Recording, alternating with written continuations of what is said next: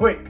What do you see in that logo? When the Minnesota Wild entered the NHL in 2000, they entered with one of the most clever logos. I'll never forget watching hockey with my brother, and I asked him, why do they have just a logo of the forest? That's really dumb. My older brother lovingly said, you're an idiot. That's a bear. So at the beginning of this video when I said quick, What do you see? The wild or a bear?